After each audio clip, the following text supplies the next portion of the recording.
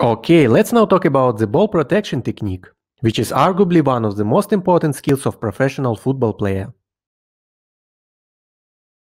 First of all, always turn sideways to your opponent and never with your back. Turning with your back leaves you vulnerable and makes it easier for the opponent to push you off the ball. Slightly bend your knees and spread your legs to lower the center of gravity. This stunt will also make it more difficult for the opponent to push you off the ball. Try to keep the ball closer to the outside foot by using your arm to hold off the defender. Do not worry, using your arm on the chest of the opponent to hold him off is legal in modern football.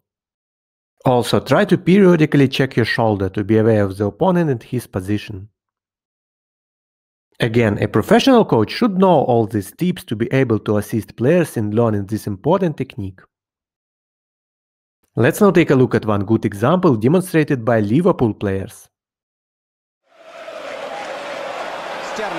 Here Sterling turns sideways and uses his body to put the space between the ball and the opponent. Good one.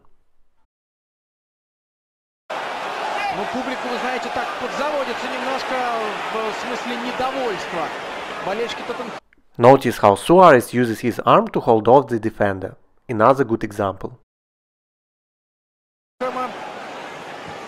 гудят, они хотят видеть немножко другую игру Again, notice the perfect sideways positioning. В исполнении своей команды. Пока играет только Ливерпуль. Аллен.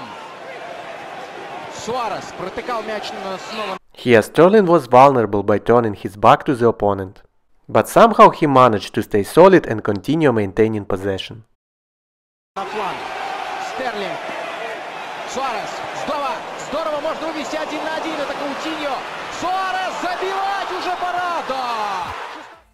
Okay, now you're also able to coach the ball protection technique.